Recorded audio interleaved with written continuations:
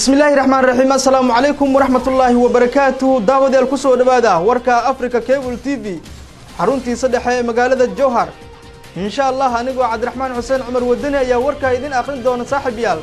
Qodobada warkeena aad ku daawan doontaan waxaa ka mid noqonaya haddii eebaweyne uu ka raali noqdo. Madaxweynaha dowladda soomaaliya maxamed cabdulaahi farmaajo oo maanta warqadaha safiirnimo ka guddoomay. Safiirka cusub ee dowladda etoobiya u soo magacaawday dalka soomaaliya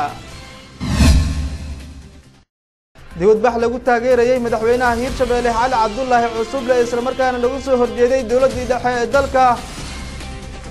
Dibadbax lagu taageerayey madaxweynaha hiirshabeelle cali cabdulaahi cusuble islamarkaana lagu soo horjeeday go'aankii dowladda dhexe ee dalka soomaaliya oo maanta ka qabsoomay magaalada jowhar ee caasimadda hiirshabeelle munaasabad lagu soo dhaweynayo midowga isbeddel doonka samadoonka ee somalilan islamarkaana maanta ku biiray xisbiga ucidda oo lagu qabtay magaalada hargeysa ee xarunta somalilan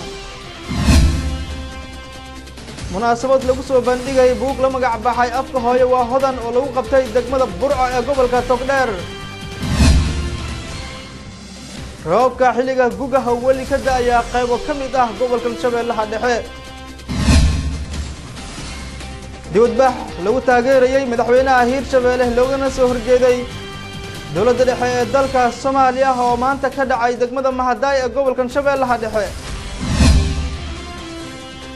Al-shabaab oo habeenimadii xalay weerar ku qaaday degmada waajid ee gobolka bakool